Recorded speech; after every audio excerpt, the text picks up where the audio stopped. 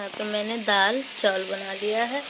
और अभी हम भिंडी का भुजिया भी बना रहे थे। तो अभी हम दूध रहे थे। तो फ्रेंड्स, बने रहिए, मिलते हैं। तो ये रहा मेरा डमरू। अपने मम्मी का दूध पी रहा है। डमरू डमरू।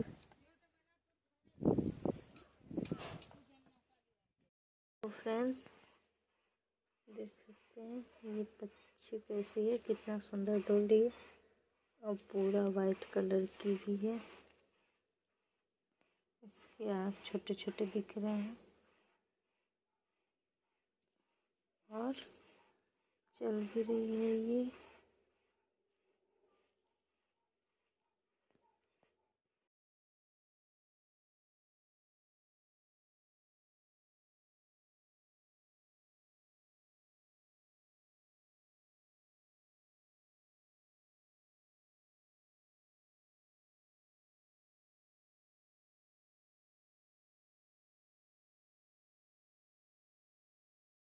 फ्रेंड्स, आज मैंने गुड़ पोछना बनाने जा रहे थे तो अभी इस तरह से छोटा छोटा कट कर लिए हैं तो अभी हम बना रहे हैं।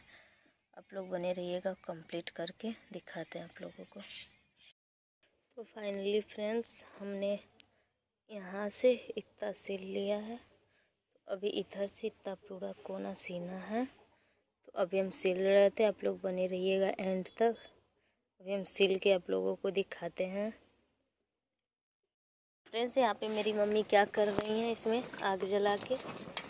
ध्यान से देखिएगा, आग के नीचे क्या है? बादाम, जो कि मम्मी भूज रही हैं। अभी खन के लाए हैं खेत में से तो अभी बादाम भूज रही हैं। फ्रेंड्स, शाम हो चुकी है। और अभी हम मम्मी लहसुन गोद रहे थे तो वहाँ तक गोद चुके हैं। और दो दो क्यारी में गोद चुके हैं, जो कि लहसुन हम लोगों का जाम चुका है। तो आज और अभी हम गोद रहे थे, आप लोग बने रहिएगा एंड तक।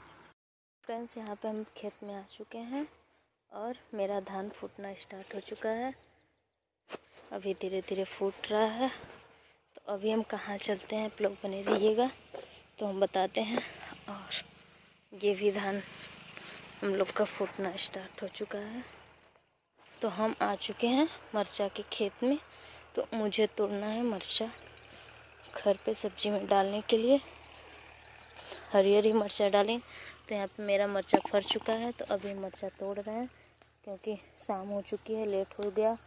अभी हम लहसुन लगा रहे थे तो इसीलिए मुझे लेट हो गई। तो अभी हम मरचा तोड़ लेते हैं तो चलते हैं घर पे। काम हो जाता है दिन भर। अभी मर्चा भी बिकने के लिए टूटेगा। इसमें टाइम ही नहीं हो पा रही है। सिलाई पे भी हो जाता है काम तो कर नहीं पाते हैं।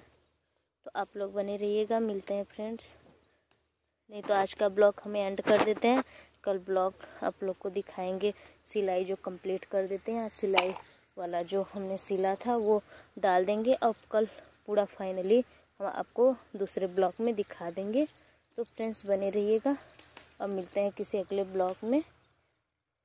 और सिलाई वाला फाइनल करके हम उसमें डाल देंगे। इसलिए हम इतना मर्चा तोड़ चुके हैं।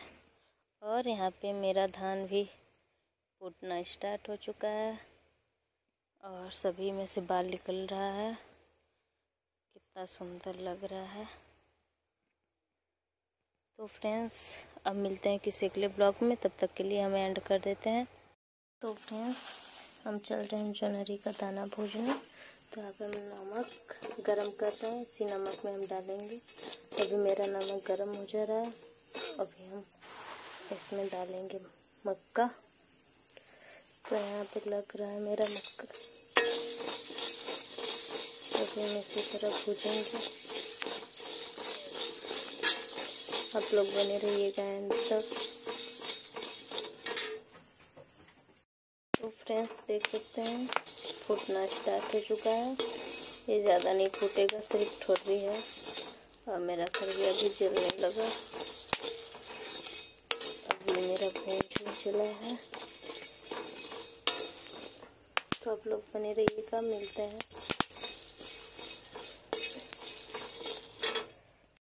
फाइनली मेरा ठर्री वाला मक्का हो चुका है। तो देख सकते हैं कहीं कहीं मेरा फूटा हुआ है। एक यहाँ पे और ऐसे ही ठर्री है।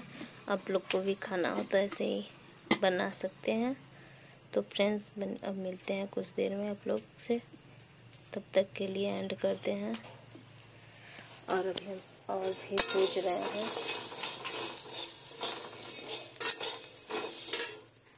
हमने मसाला भूज रहे थे।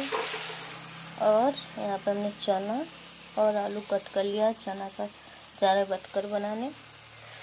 तो फिर मसाला भूज रहे थे और मेरा करिया ज़्यादा लग गया क्योंकि हम जोनहरी का दाना भी भूज रहे थे। ये रहा मेरा जोनहरी का दाना, इसी की वजह से मेरा करिया जल चुका है। तो इसमें धुल के अभी सब्ज़ी बना लेते हैं। आप लोग बने रहिएगा हिंदी तक।